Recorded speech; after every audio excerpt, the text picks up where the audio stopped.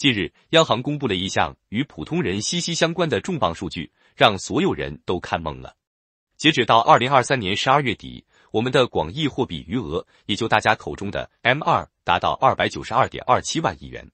去年中国的印钞机这么一印，就多印二十六万亿，三点六五万亿美元，这相当于多印了一个印度。二零二二年印度的 GDP 大概了三点四万亿美元，这是人类历史上。单一经济体印货币第二多的年份和国家，排第一的是二零二二年的我们。这一年我们多印了二十八万亿。但奇怪的是，尽管这两年我们超发了这么多货币，我们的股市没有涨，楼市没有涨，就连物价也没有明显的上涨，甚至有了通缩的迹象。那超发的这些钱都到哪里去了呢？最近几年，央行对商业银行发行借款是主要补充银行体系的流动性的，也就是最主流的印钱方式。商业银行拿着央行的钱，转头就去市场上找最终借款人贷款，这就实现了货币的投放。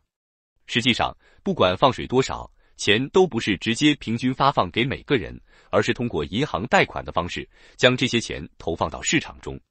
企业获得贷款后，可以扩大生产规模或者投资新的行业，从而创造更多的就业机会，并提高员工工资。这些钱就这样流到每个人的手中。然而，过去两年的情况有所不同。这二十六万亿的钱到达银行后，银行却突然发现几乎没有人来贷款了，也就是最终借款人突然就消失了。不景气的行业不敢放贷，而景气的行业也不需要贷款。普通老百姓则都在努力节约和存钱，更别说贷款投资和消费了。因此，这笔钱就被动的回流了，也就是我们所说的被动缩表。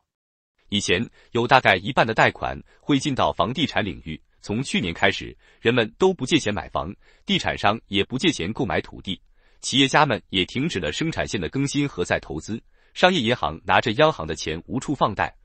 而且他在账面上还要给央行利息，思考再三，最优的选择当然就是还给央行了。